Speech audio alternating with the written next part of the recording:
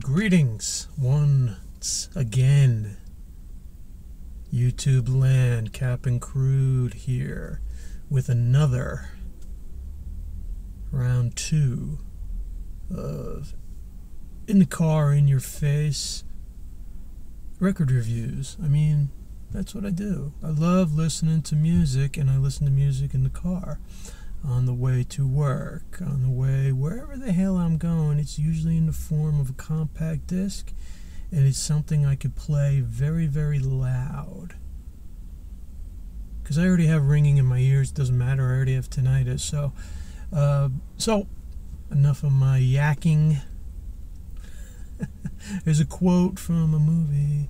All right, so what I'm going to do today for round two of Krüde Tube's record reviews or car music that sounds good in a car is going to be this Guitar Pete. Can you guys see that? Yes, Guitar Pete. Raw deal. Uh, if you guys know who Guitar Pete is, lucky you. If you don't, you're going to learn right now. I first saw Guitar Pete in 19, I gotta say 89. Probably, uh, okay, I'm jogging my memory back a long time. If it was in 89, it was probably at the Cat Club in New York City or the Limelight. And I saw Guitar Pete with his band Snake Eyed Sue. And I thought this guy was phenomenal. He's a left handed guitar player and he just rips skulls in a bluesy rock manner. And I never forgot this guy, you know, even though I've lived in different parts of the country over the years, I always remembered Guitar Pete. So uh, he's been releasing CDs on his own. I don't know for uh, how many CDs he's done, but I managed to get my hands on them. And this one in particular, Raw Deal, is my favorite. And I'll tell you why because this album literally is in the vein of like I don't know what what would you say? Like ZZ Top meets I don't know it's like it's bluesy hard rock. And his voice is what puts it way over. If his guitar playing kicks ass his voice buries virtually every living blues man in the world. So I'm going to play you a snippet of a song. It is going to be track number two. This is Battle Cry. So let me just turn this over.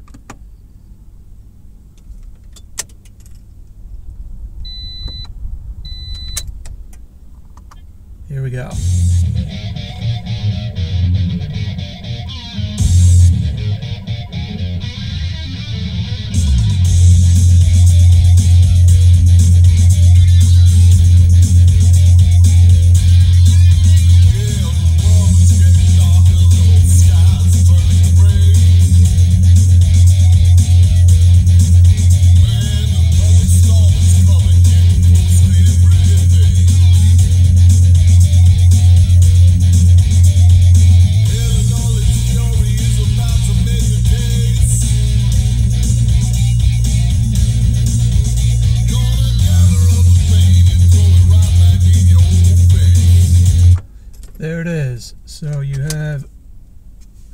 Guitar Pete doing his thing.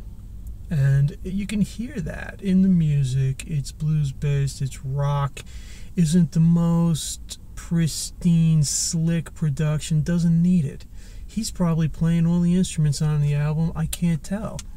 Because all I know is he's a guitar player, but see, there's really no liner notes in this thing. It's just, it's made by CD Baby, and I think literally uh, bands that have to be on CD Baby uh, to release their CDs and MP3s as well are probably the best bands to listen to. They're not being manipulated by record companies to sound a certain way. Uh, they're not being told to sound, to sound a certain way. They're not uh, being told to look a certain way. They're doing their own thing. Where it hurts bands like Guitar Pete is you know, where are they really going to play? You're not really getting promoted anywhere. Well, there's guys like me who will promote uh, his music and give you stories about seeing him 30 years ago when I was a teenager. Uh, that to me is more important than, oh, wow, did you hear them on satellite radio? You know, whatever this XM and Sirius shit is. I, I don't really care about that kind of stuff. I, I like music that I like. And that's it you know, and I bring it into the car and then I recommend it to you guys. So, again, I'm going to play another track off this album. Uh, let's go to, we'll go to All, All Fired Up. Why not?